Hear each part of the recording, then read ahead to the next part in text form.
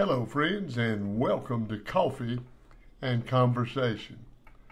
Rays of Hope from the Gordon Avenue Baptist Church in Adel, Georgia. Friend, let me invite you to pick up your copy of God's Word. Turn with me over to the book of James today. Uh, James chapter 1, verse 5. That's the light where we certainly find the rays of hope, God's Word. Get that good fresh cup of hot coffee. Let's sit together, have a wonderful encounter with God and His precious Word on this beautiful day.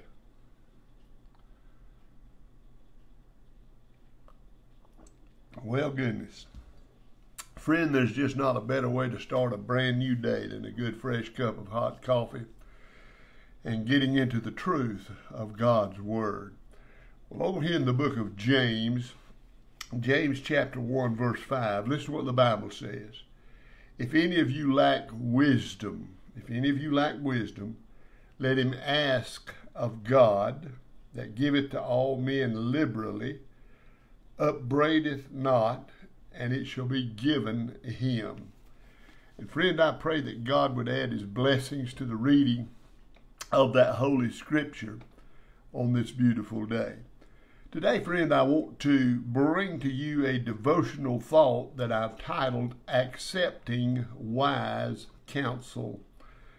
Accepting Wise Counsel. You know, one of the most important things that you and I can do as children of God is to take heart in God's truth.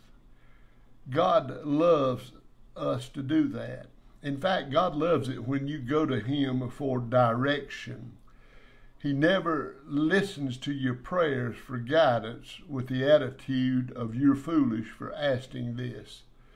My friend, God's never going to shame you for seeking His divine wisdom.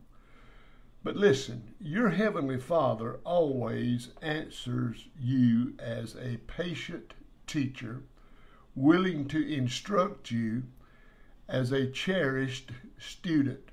You see, He wants you to know His precious will, and He enables you to carry out that will. Now, you may be worried about hearing the Lord, but understand this His ability to communicate can always overcome any inability that you may have to hear Him. So, if you don't understand God clearly, He will continue speaking to you using various methods. I tell everybody, first of all, he's going to use the word of the living God. And then he may speak through a small, still voice. Or then he may bring a message through a messenger. God has a way of getting his message across to you. My friend, as long as you follow God's guidance, he will continue to give you his wise counsel. And he will tell you not only what to do, but he'll tell you when to do it and how to do it.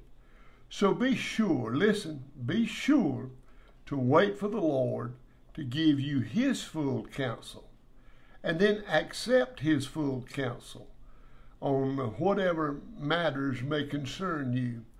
And once you've heard from God, do what he tells you to do without doubt or without hesitation. But, friend, be for sure that it's God that's speaking to your heart. We all need His wisdom, and He should teach us the way that we need to go.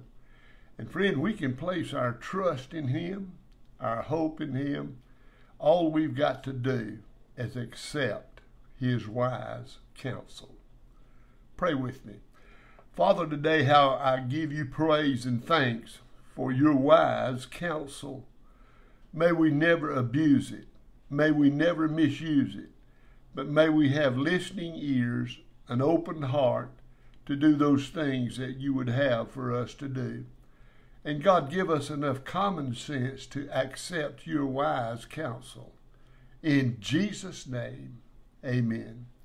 Well, friend, I pray you'll do just that and uh, do make a difference in your world today.